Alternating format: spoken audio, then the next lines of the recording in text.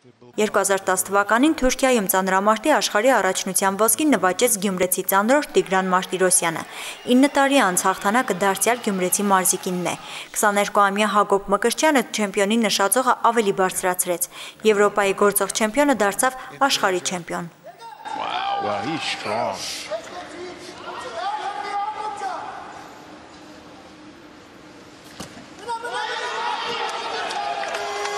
That better than the last It one. did. Wow, we got a battle going on. Battle. 89 կիլոգրամ քաշայինների կարգում Հակոբ Մկրտչյանը երկամարտում գրանցեց 375 կիլոգրամ արդյունք, այլևս չունենալով վերջին մոտեցման անհրաժեշտություն։ Մի քանի ծանրորդների միջև լարված պայքարը հրում վարժությունում էր, որտեղ Գյումրեցի մարզիկը հավասարը չունեցավ։ Սովորենք պատվահարտակին տեսնել հայ ծանրորդների։ Իր ուժի եւ պատրաստվածության վրա վստահ էր նաեւ Գյումրեցի մարզիկը։ Հակոբը մինչև պատվահարտակին հասնելը ուսերին առավ երագույն դրոշը։ Ay, qué gran momento. Marco Piscucciava, Sally Bono.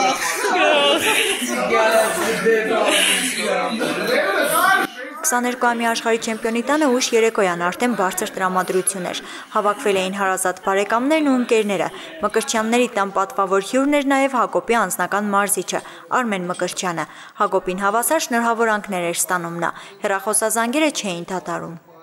Շնորհավոր եք դավցանք է որը սաղիտ։ Հա։ Արա կե Հակոբի բաբանը շնորհավոր։ Սաղ չկսե ապրիկ շնորհակալ ենք։ Տարոսը բոլոր Հա, հա բան։ Մարզիկները։ Չէ, հա։ զանգ-զանգի հետևից ազգականները, հարևանները, թե չգիտեմ, շնորհավորանքներ փազում, չգիտեմ, աննկարագրելի զգացողություն է։ Հակոբի մրցելույթները մայրը Տիկին Սրբույին չի նայում սովորաբար։ Հերոստացույցի արժև չի նստում, բայց հետևում է։ Նույն լարվածությունը նաև հոր մոտ էր։ Հայրը Արամ Ակրճյանը նույնպես զբաղվել է ծանրամարտով։ Գիտի, որ դու թույլ եւ ուժեղ կողմերը։ Հակոբը թեւի վնասվածք է ունեցել, բայց դա չխանգարեց Եվրոպայի առաջնության արդյունքները գերազանցել։ Ձեր ուրախությունը երնի բոլոր սպարսմենների, այս ուրախությունը մեր գյումրեցիների, մեր հայ ազգի ուրախությունն է։ Մենակ իմս չէ, էլի։ Բոլորինս է։ Ճիշտ է, մի քիչ թևը վնասվածք ունի, բայց ինքը այդ վնասվածքը ենկոմ տրեց։ Հա, ենկոմ տրեց, սա գիտես ինչ, մենք իրար հետ խոսացինք հերախոսով։ Ըվը պասա մի մտածես սա թևս կցավա, բայց ես պետք է ենեմ իմս։ Էդորից լավ բան էլ աշխարհի տակ գոյություն չունի։ թևը դիա ցավարգը գնացել էր մրցման մենք սաղս հարցնենք թե թևը դինչ եղավ ինքը ինչ որ հա ուզենար որ մենք այդ հարցը չտանք էլի իրան միշտ կուզեր չխոսանք այդ ցավից ինքը իրան ցույց կտա որ ինքը պատրաստ է գնացել է կարելու Հակոբի ուժն ու հնարավորությունները ամենալավը գիտե նրա անձնական մարզիչը։ Արմեն Մկրտչյանը հերվից է հետևել իր մարզիկի ելույթներին։ Ամենօրյա մարզումներով կարողացավ հասնել նպատակին 4 կիլոգրամով գերազանցելով Եվրոպայի արդյունքը։ Այս տարվա ապրիլին Հակոբը ճանաչվեց Եվրոպայի չեմպիոն երկամարտի 371 կիլոգրամ արդյունքով։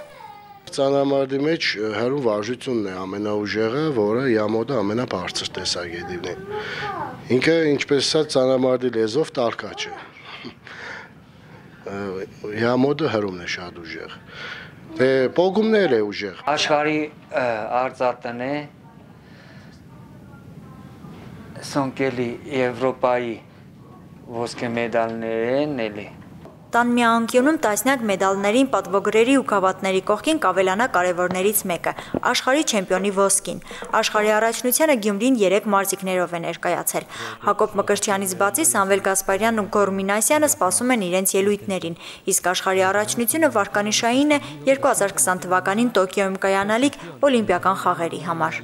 Էլիսա Ֆրանգուլյան, Արտյոմ Խաչատրյան, Հորիզոն